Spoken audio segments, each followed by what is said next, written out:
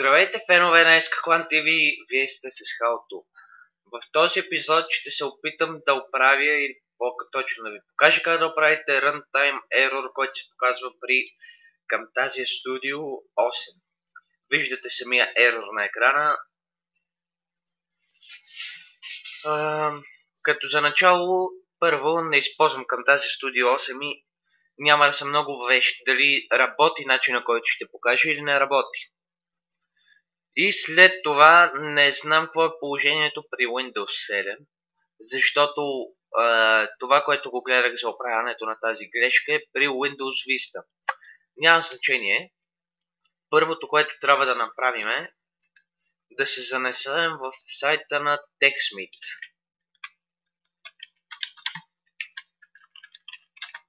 Мисля, че така се пише.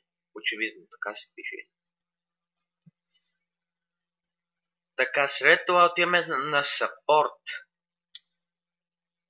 Ам, след това би трябвало да отидем на Tech Support, не знам. Явно да. Сега Runtime Error.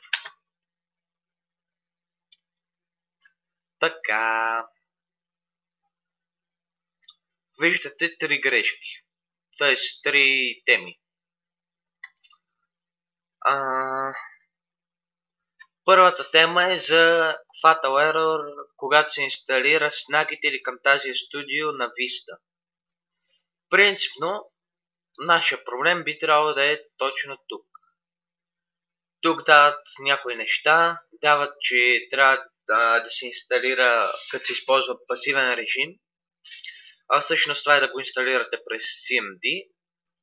А, но тук се забрави нещо, че преди да го инсталирате по този начин, а, трябва да е такова.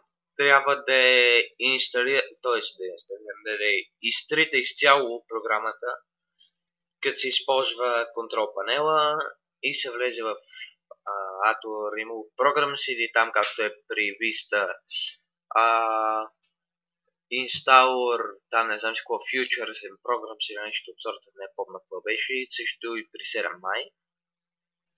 Няма значение. Та трябва първо изцяло да изтриете абсолютно всичко, което имате на програмата, след това трябва да си рестартирате компютъра и след това трябва да започнете да следвате тия стъпки. След това трябва отново да си инсталирате... Не, всъщност не помна, но май след това трябваше пак да инсталирате компютъра, след това да отворите CMD-то, да отворите CMD-то, да впишете и този ред и би трябвало грешката да се оправи. Е, да, ама не, пак се появява. И все пак а, не съм сигурен, така и не разбрах точно какво трябва нали, да се направи дали изобщо трябва да се използва нещо тази тема, но ще карам направо. Така, а, най-горното пък изобщо не ни трябва. И отиваме на долното, въпреки че е за програмата Snagit. Така. Тук има някакви неща. Тук виждате има теми. Да, пък теми, има файлове. А, и примерно, доколкото видях потребителя е на Windows 7, не съм сигурен. Може да е просто тема на Vista или на XP. И ни излезе Microsoft Visual C++ 2010 Service Pack 1, а, така нататък. А, всъщност аз гледах за Vista как е положението, както вече споменах. Той каза, че е с, 20, с 32 питова Vista, влезе в този линк. Видя този файл 1,7 мегабайта, каза, че не е правилният файл, каза, ето тук трябва да се цъкне на New Version Available, сега вече файла става някакви 4 мегабайта, от тук се свалял. И общо взето проблема се оправил, след като се инсталира това и отново се рестартира компютъра. Но ако наистина си на 7, сигурно би трябвало да пробваш този файл да е 4,8 мегабайта. Отново се сваля по същия начин. И от тук има а, някакви важни бележки. Сега ще ги преведа. А, убедете се, че сте инсталирали последния сервис пак и такова. И всички нужни обновления на, на Windows, който използвате. За да намерите най-новите обновявания, нали, посетете Windows Update. Съмнявам се, че това е задължително да се прави, но както и да е. В тази страница натиснете бутончето Download, за да почне изтеглянето. А, за да запаметите своето сваляне а, на компютъра си, а, за, да го инсталира, за да инсталирате програмата, натиснете Save, ето тук, само че на мен ми е на български. И накрая, за да запаметите свалянето...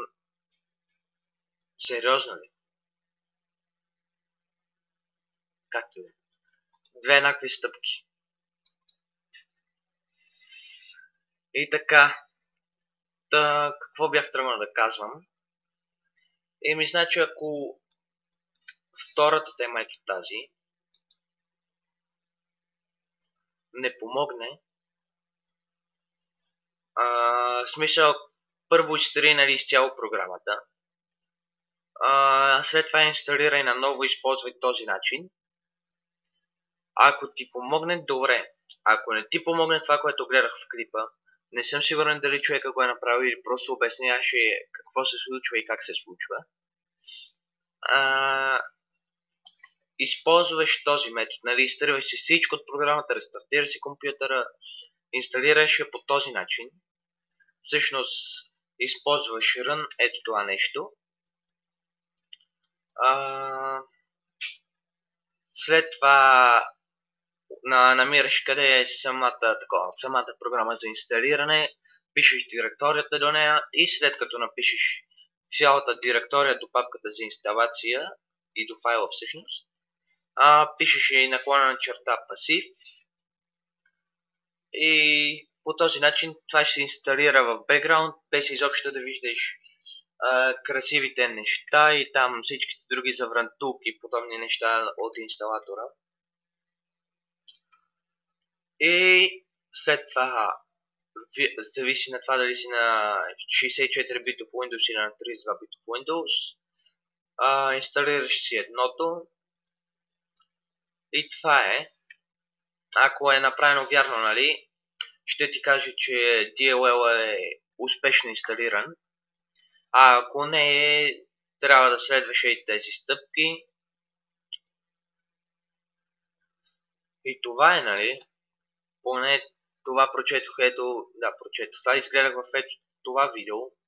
Ще дам линк за него към описанието. 9 минути е. Но доколкото видях при човек е помогнало, така че се надявам да помогна и при теб.